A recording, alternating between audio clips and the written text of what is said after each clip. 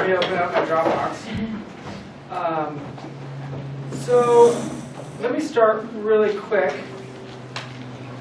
First, it's an honor to be here. Thanks, guys. Um, so what I really want to do today is um, tell you a little bit about my life and hopefully give you guys a little bit of inspiration of how how you can change your life, really. So, um, and it's crazy because I started a junior college when I was, I was telling her I was about 26 years old. So you'll see the whole situations in my life that took me to a path, and, and I, I feel like it's a, been a very good learning path. So again, my name is Tom Holt. Um, currently, I'm the owner and CEO of Urbane Cafe. We have uh, eight locations currently. We will be up to 10 um, next year, and it's all um, privately owned by myself and part of the bank.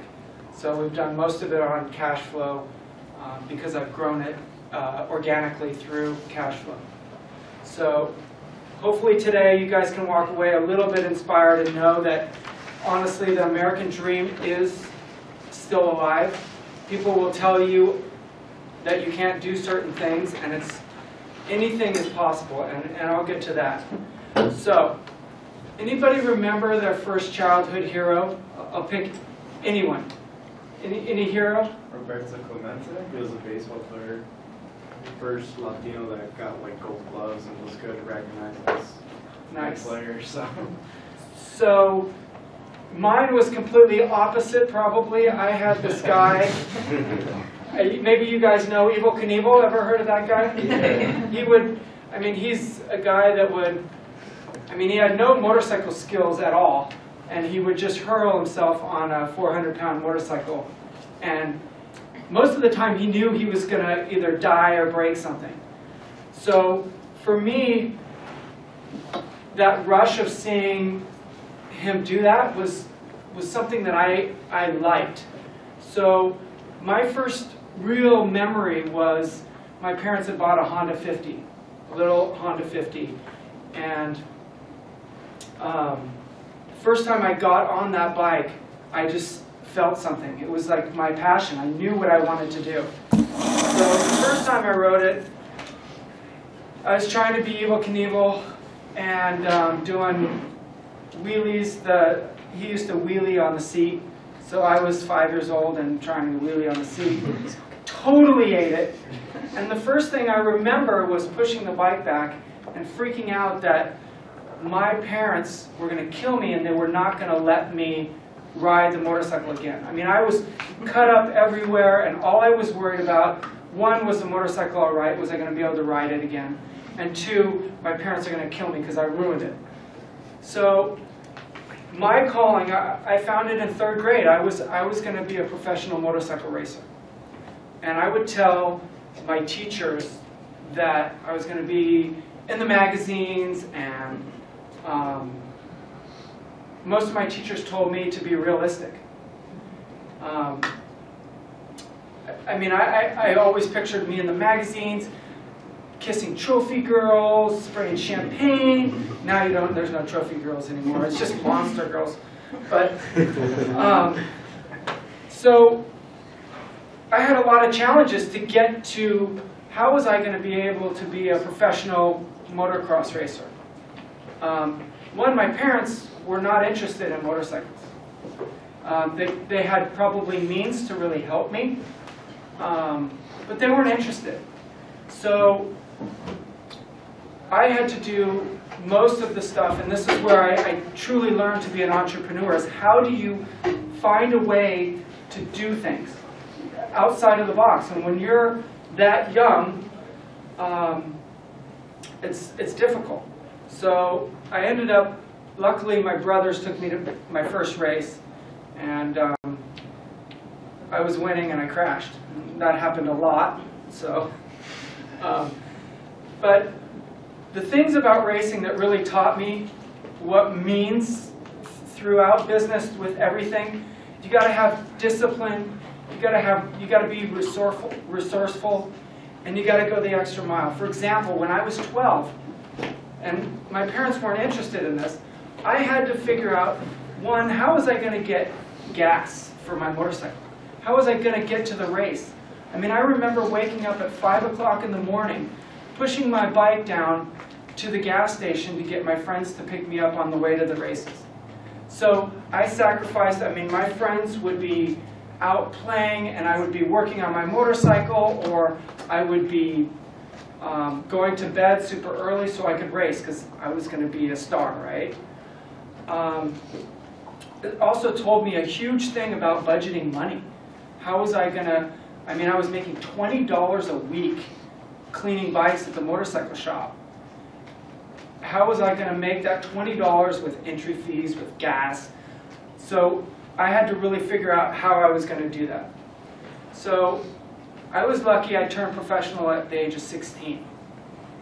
Um, and I, I was lucky that I graduated high school. I mean, honestly, if it wasn't for motorcycle magazines, I would not know how to s- say welcome. so um, I, I learned a lot from that. So luckily, when I graduated from high school, I was still paying for everything racing, still going to be a big star. Things were not looking that good. Um, I was in a supercross race in um, Seattle, still paying for everything out of my own pocket. Um, but I got a, a call from uh, a company in Brazil. So they said, hey, we need American racer to come down here in Brazil. Do you think you'd want to come? I'm like, I'm out. I, I was, I uh, took the chance and I went down to Brazil and I was going to kiss the trophy girls, right? so I, I get there. There's a there's an issue on- once I get there that they can only have so many Americans on a team. So they're saying, your team's locked up. We don't have a team for you. So I just automatically go into selling mode. Who's the sponsors? Where am I going to get a ride? How am I going to get paid? So luckily, I found a team that picked me up. So now I'm 20, I'm 20 then, and so I am living in Rio, um, penthouse, pool, so I'm pimping, right? I, I got, I mean, we have a, our own Learjet, and I get to fly all over Brazil, kissing trophy girls and spraying champagne. It was like a dream come true, right? So one of the big things is my dad wasn't a huge supporter. And um, I remember the, the first time my dad came out to South America to watch me race. And we were walking down the street, and people would come up and ask for my autograph straight off the street. I was a star throughout the country uh, because I was all in all the magazines, I was on TV, I was hanging out with Pele. So somebody came up and asked for my autograph on the street, and my dad's like, yes, I know I helped him. so that was like my big thing, right? But, you know, my dad just passed away, and I think that his lessons to me were really important. That they created me, and this is a whole different topic, but um, those lessons that, that you have for hard times make you better. So I never look now. Back then, I was always upset that my parents didn't support me in my racing, but that's what actually made me um, good in business, um, a good family man. Um, so there I am, 22 years old. I'm living the dream. I don't ever picture myself being 45 with a family, right? You think here and now, this is your life. You're gonna you're gonna keep going this way. So I was um, I was at the biggest race of the year. It was the biggest stadium in the world. There was 150,000 people in this stadium, and um, I was leading the race, and I had a dark patch, and I couldn't see, and I flipped over the bars. And what I remember most was the bike was on top of my head. The, the wheel was spinning right by my eye, wide open. My shoulder, they, when they pulled off the bike, my shoulder was popped all the way through the, the backside of my arm. And you can imagine being in a foreign country where you don't, I didn't speak that good of Portuguese, and people are pulling you and ripping you apart, trying to get your shoulder in, and um, my mom had only seen me race two times, and both times I ended up in the hospital, so that was one of them. Um, so I ended up getting surgery in South America. Um, superb hospital, though. It was very nice. It was one of the best. so, um, so here I'm stuck. I'm 22 years old. What am I going to do? I don't. I didn't go to college.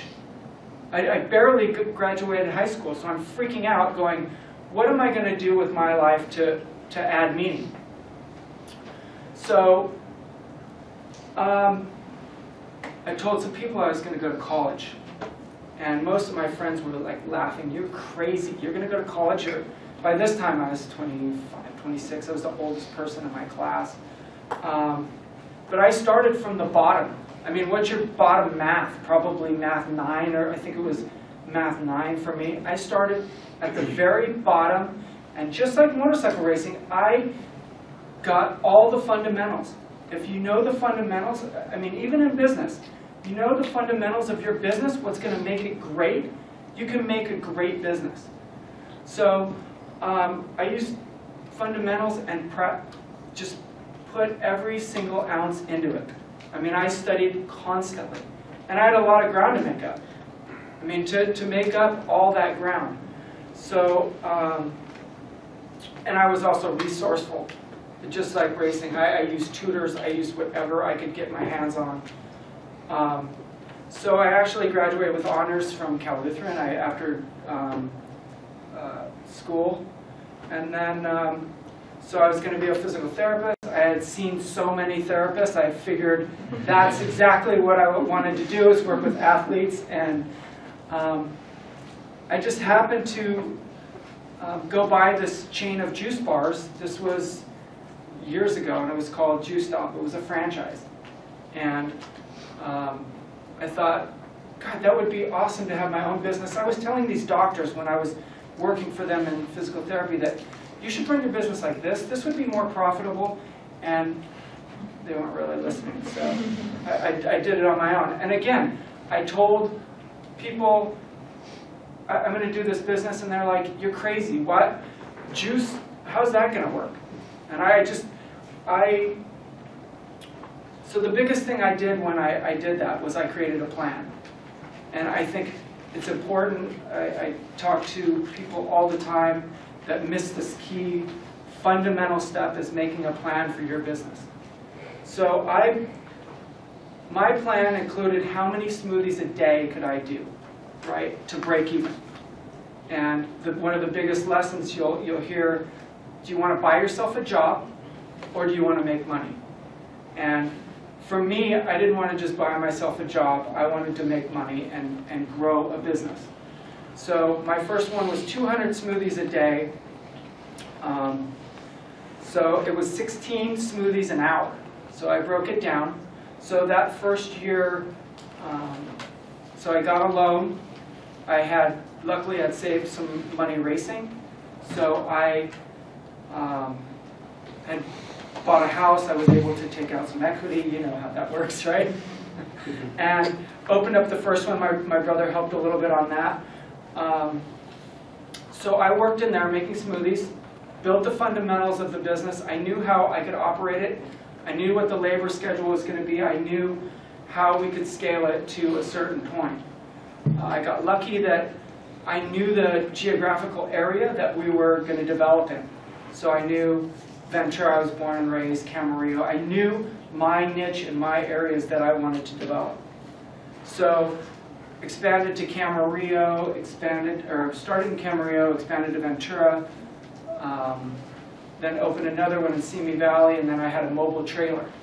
And um, I felt that to really expand my career, I didn't think I was going to get very far in a franchise business, um, as well as it was um, a troubled franchise business, and I was the only one that was doing well. So I ended up selling to Robeks Juice, which there's one, I had that unit over there on Tapo. Um, so I sold out, made some made some money and I, I wanted to do my own concept from scratch. So I didn't want to, I didn't want to own a franchise. I wanted to pick the colors of my walls. I wanted to create the menu. I wanted, I wanted every little piece of that business to reflect of me. So I remember telling some people, I was like, I'm gonna open this cafe, we're gonna do sandwiches. You're crazy. What are you gonna do that for? You know, they just, some people don't understand when you have vision. So I remember I'd met my father-in-law, very first time we're sitting down, and I had sold my juice bars. And my wife introduced us, and we're sitting at the table, and my wife says, um, yeah, he's gonna open a, a cafe. Her dad looks at, looks at her and he goes, crazy gringo. so, um, he had, he had come over from El Salvador and he was working in restaurants his whole life. So he was started as a busboy and, and, um, that's a whole different story, but, um, and he's, he's right. I mean, the majority of businesses, you're looking at a 90% failure rate of a lot of restaurants within the first five years. So, um, most banks won't loan. I had to beg, beg landlords to let me get into the location that I knew was going to work. I mean, if I, I put every ounce of my thoughts and, and my manifestation, trying to manifest this location into the spot that I knew that we could succeed. And it was a big landlord, and they didn't want to lease to me. Finally broke them down, and I got that. So, um, the first one in Ventura, I opened up, had enough capital that I was able to um, work on the menu. I sat in there for almost a month with a completely filled restaurant, working on just menu items. What did I think was going to work in my town? And the biggest thing was I wanted um, the bread oven. It was all about our bread. How are we going to do everything fresh? What's the hook, right? Everybody's always asking you, what is your differentiation? And I, I always think, God, it's really cool to have a big oven where you can see the bread being made, doing everything from scratch in our restaurants. That's what was different from any other sandwich place that we had in our geographical area. So we opened in 2003. We were busy right away. Um, and thank goodness, I mean, we, we made money right away. Our, our goal was, again, I broke it down into how many sandwiches. We needed to do 349 sandwiches, which, um, which was 34 an hour. And we hit that right away. Now, um, we rank very high in, in sales per square foot in most of our restaurants. Some of the highest volumes and margins in the restaurant business.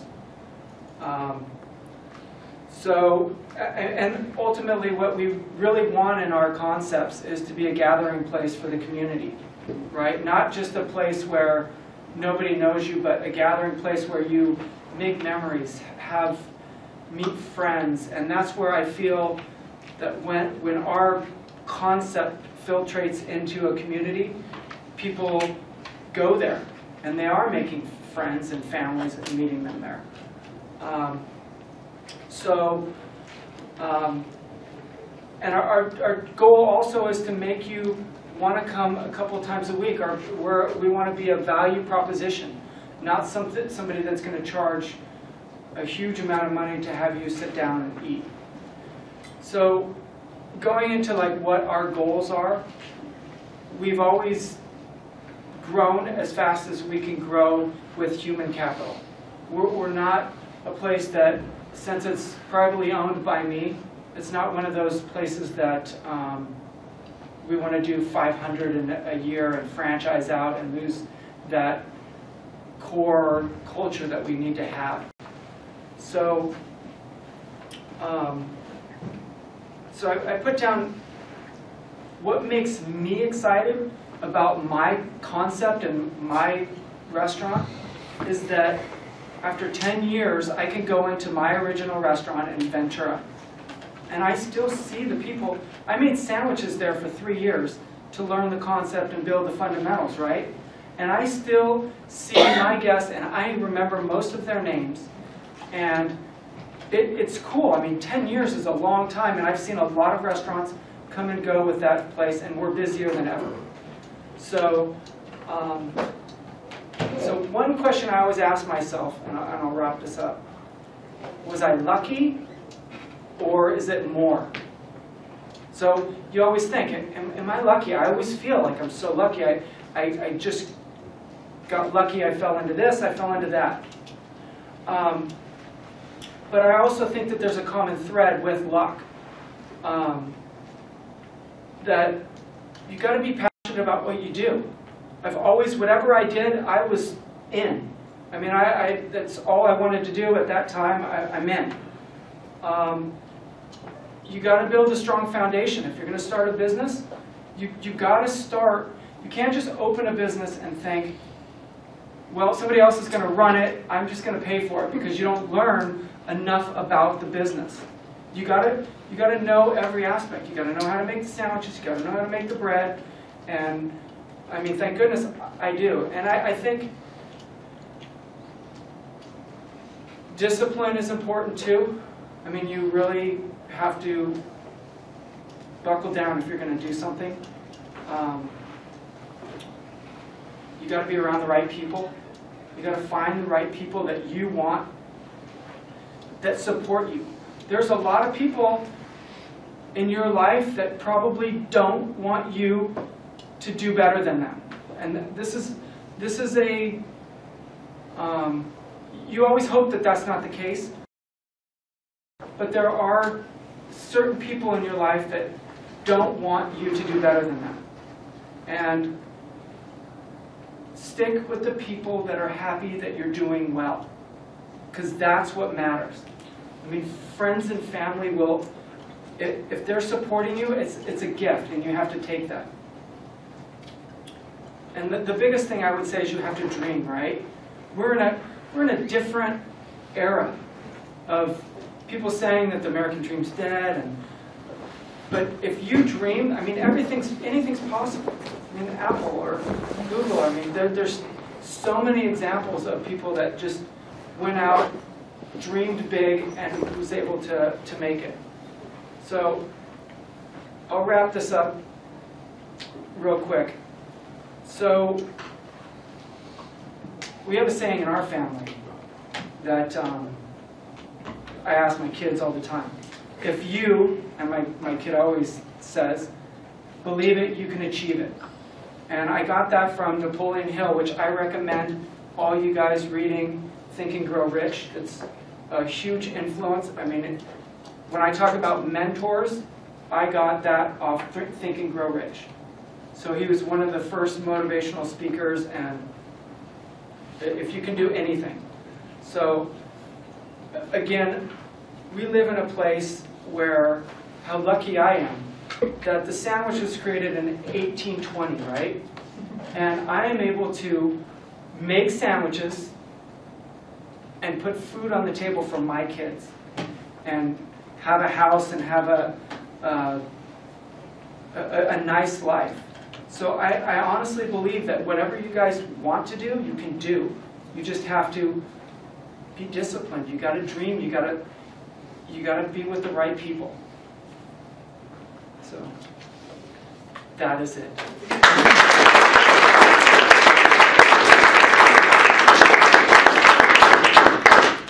Are you willing to take any questions? No, that's it. No, that's it. Does anybody have any questions I would like to ask? Let us think. What's that? Let us think. Sure. it's funny. I was uh, I had a I was at a conference, and you guys know Kiss. Yeah. So, um, G- what is it, Gene Simmons?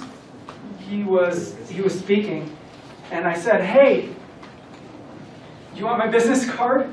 And I, I, I got up and I was able to speak with him, and I got to go hang out with him. So, and he came into the restaurant. That's pretty cool. So, yeah. Awesome. So you never know when you're gonna hit, that thing is gonna hit. So, Can you explain your budgeting process? Sure. Um, well, you know what? So I'll tell you, so for me, my budgeting process at this current point is way different than it was when I started. I always did things as a break-even analysis, right? So I think when you progress into a more scaled business, you create different budgets. But I think if, if I was to start a business, pick your, pick your break-even point and then scale up from that, from there. Because too many people have this, I mean, I, I could show you spreadsheets of people that wanted to start businesses and they scaled it way off. Figure out what your bottom line is with, with everything. And if anybody has any questions, I got great spreadsheets on budgeting or pro formas or any of that that I can send you. So, um, but that's a great question. Is your email on your card? Yes. And you can always, you can always, and honestly, I mean, you guys are in a business class. If you guys ever have any questions, you can email me. I'm always, I always like to help people um, set up businesses or, or whatever. I mean, I, I think you never know. It's, it's funny. I would go to conferences, um, and I would, I would be like, someday I want people to remember who I am, and I would be really quiet. And things can change. Somebody in here is a rock star. You, you don't know where it's going to come from. So, yeah. Um, so you went into the business by yourself, right? Yes. What would you say the cons and pros are going into business with a group of peers? Um, I would say a lot of hats, a lot of hands in the, just a lot of people and a lot of, uh, you can, depending on how you structure it and how you communicate is really big. Um, Somebody's usually going to take the lead and somebody's going to be upset. So if you do go in a partnership or you do go in together with somebody in a business, even if it's family, you've gotta have a contract. Even if it's your family, it's the biggest lesson that I, I could pass. I've, I've seen people that have lost their whole businesses just with family. And they not only lost their business, they lost their friends, they lost, I mean, with friends and with family. So family and business is very, it's a very touchy area that you can, um, yeah. I, I, if you can do away with it, you're better off getting investors that want to be silent. Um, But again, you get a contract, you have a great idea, just make sure you sign a contract. Yeah. So you have eleven locations, right, I think it was, or? We'll have, we'll have 11 in February, or 10, 10 in February and 11 in March. I know it's, it's probably far from there, but at some point you do want to go out of state, right? Like in further. Yes, so our goal is, um, Would be the next state you would probably want to go to, or So California is, is a very crowded state. Um, For us, franchising wasn't really an option. Um, But we are more than likely going to bring in a, a strategic private equity company that Yeah. scales these things. Um, But my goal is to always maintain majority interest until uh, certain catalyst happens that pushes me out, or they push me out. Why bread? Why bread? Why, why sandwiches? You know what? Because I was in my town and I, I was driving around one day and I wanted a sandwich and I wanted a salad together and there was nothing out there like that. So, I mean, and that's a, a typical thing, right? I mean, you figure out what, what you want, what would work. Yeah. So, and something that the masses want. I mean, our concept isn't, we're not going after LA cool. We want something that's scalable from Texas to, I mean, Ohio. I think our food is, is comforting and it's not heavy and you feel good about what you're eating. So that's what will transpire into Ohio or, or all those cold places like Chicago. Quarter it says that- you're that area, the fast, the casual dining, is Yeah. the fastest growing, Yeah. um, part of the restaurant business. Yeah. I mean, fast casual is, is, um, that's what we're in, is, is a very, I mean, the, the multiples that they want to loan you money, I mean, I, I could never imagine what, I, I would never have thought my, I, so every day I go into work and I write down, when I go into my office, how much money I want to have. And I write down my goals, what I want to do in my life, how I want to be as a person, how I, I want to uh, be as a, a leader. And every day I write that down, and I've already passed what I wanted to do, so now I just doubled it. Yeah, onto the. So, so luck. How do you start looking for people to invest? Like, how do you reach out to other people? That's a, that's a good question, because for me, it's different because I have a scalable business. Um, If you're starting out, you're, you're in that gray area where you got friends and family, it's, it can be a little, little tough. Can you expand on what scalable is? I'm Josepha, I'm one of the business instructors in here. Can you expand what that means? Scalable is how can you take something and multiply it and multiply it and multiply it? And mul, and when some things are not scalable, that you can have one, and it's just, that is a, a, a restaurant. Take a mom and pop Italian restaurant. That restaurant is pretty much built on mom and pop. But for us, it's building infrastructure of people, it's building infrastructure and systems and um, training, all of those pieces that you need to, it's almost like franchising, right? But not franchising. So at one point, are you not a small business anymore? You reached That's a good question. Um, Is, is that, isn't those regulations dependent on your number of employees? Mostly. They say that, I mean, I always think that we're a family business, so we're a small business. Right. Um, I don't know what the number would be, but I still feel like we're a small business to, to what we will be um, in five years. I mean, five years, we'll have- probably have 60 locations, so, um, to 80. When you hire management, uh, what do you look for? Um, Somebody that's going to show up? No, I'm.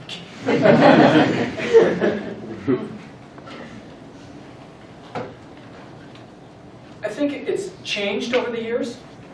Before I was, um, we were hiring people that, that they were going to be in that spot for a long time, right? But when you can find, and when you're growing to a bigger scale, you're going to be able to hire people that can grow with you and to move up. So when we talk about, like in our- restaurants, we have, it's called a level system, or you start out as a salad person, and you move up to sandwich, and you move up to side salad. So you always want to keep people moving and interested in where they're going. So when we're looking at managers nowadays, we're looking at, can people go to the next level? We're laughing because I just taught that. Oh, really? talking about levels and making people feel motivated with the levels that they can achieve. So that's why I was, I'm sorry. I didn't mean to do that. And I'll tell you all, no business class. I shouldn't really tell you that, but, but the good thing is, you guys are luckier than I. I had to learn this on my own of hard knocks. So, um, good, I'm glad I, would I pass? Absolutely. Yeah, everything I taught, you're telling them. Thank God. In one word, what would you describe your company as? Like the best word you could describe it? Oh my God, dude, that's, Like, Tricky question, sorry. for, They're gonna pick your brain. For me, for me, it's probably different than, than, I mean, I always want our company to be fun. I mean, we're there to make people, Happy. that's right.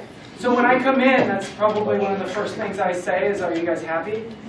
And, and I want people to genuinely be working for a company that they're happy for.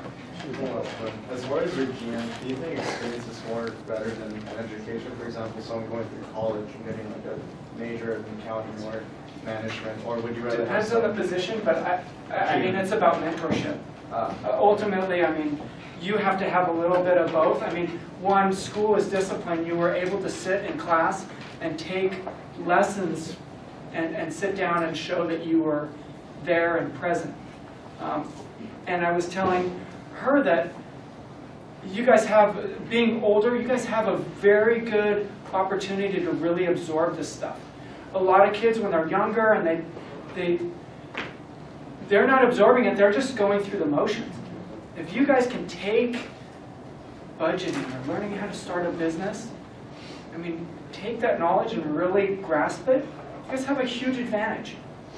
I mean, there's, there's most people that, and th- there's two different people, right? There's, you're gonna have people that are gonna work for somebody, and that's okay.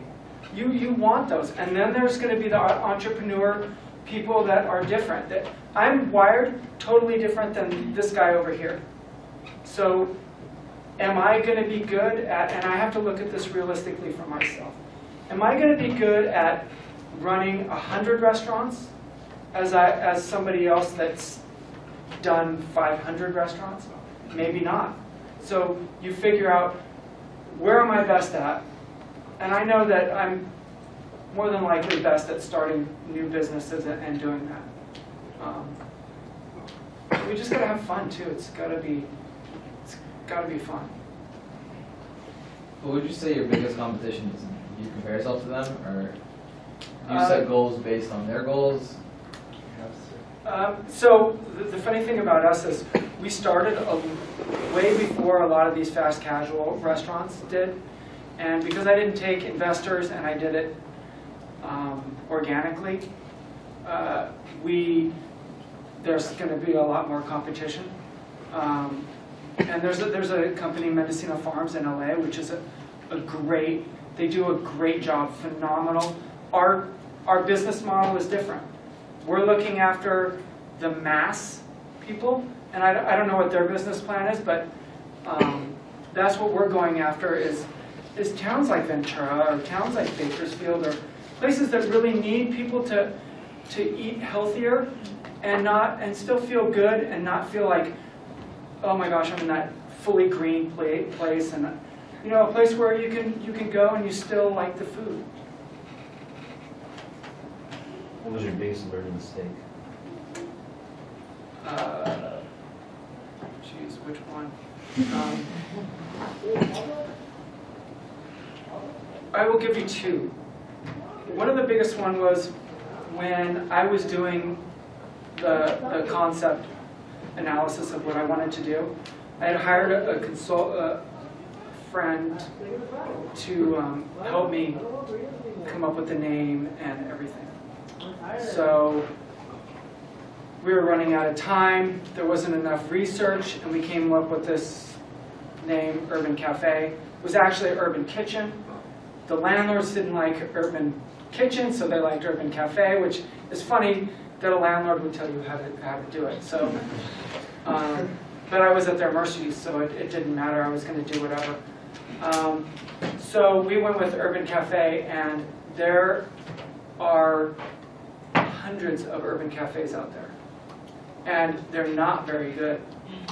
Um, so for me, I got, again, this is a stroke of luck, is they, our first article, they wrote, Urban Cafe, a true urbane eatery. And I didn't know, I was like, these guys can't even spell urban right, they're calling it urbane. What? And I had no idea, so I got the book, I'm like, oh, polite refined. I think maybe I'm gonna add an E to that. And so what I did was, to be able to trademark it, the, the concept, I, um, we changed the concept and we added an E and it's Urbane Cafe. Most of you guys are probably sitting there going, Thought it was Urban I knew it was Urbane. So now you can say, but it's, it's, it's amazing um, nobody noticed that, that one little thing. And that could have, I mean, I was thinking, oh my gosh, do we call it Zippy's Cafe? Or, I mean, I, I really, because if you go on Yelp, we're pretty good on Yelp. But there's some place else that's not good. And if we were Urban Cafe, it wouldn't have been great. last question, we have some, a little bit more business to do after this. Oh, have you had mentors? Um, I do now. I have a lot more. But I, I really would tell you guys, get the book Think and Grow Rich. It's not about getting rich. It's about uh, a, a mindset. It's, it's a mindset of where you put your thoughts is where you're going to go in life. So you use uh, self-help books? Uh, um, yeah, I mean, that's the biggest one. But yeah, I mean, I, No, I'm a big I'm, fan of it. I'm, I'm, a, I'm a true believer in manifestation of thoughts and energy. I think, um, going back to your thought of, of managers, right? So you can have a manager with terrible energy, and I've literally seen a restaurant change with the management because of the energy within that store. And it's not just, it's just a, a whole different thing. And I remember the first, I, I read this book, um, So Your Life is Waiting, right? It was the first real book like this, and it was about energy. And, and I had Valencia, we opened up in 2008. It was really slow, we had a hard time building it. I read that book, and I, I remember sitting in bed and I changed my outlook. I go, I would picture people coming in the door, just coming in. And we were making money, but I was just picturing people coming in and opening the door, coming in at the register. It turned in like three months. It was a whole different ballgame. You could feel an energy within that restaurant. So yeah, I'm, I'm, I'm a believer in manifestation.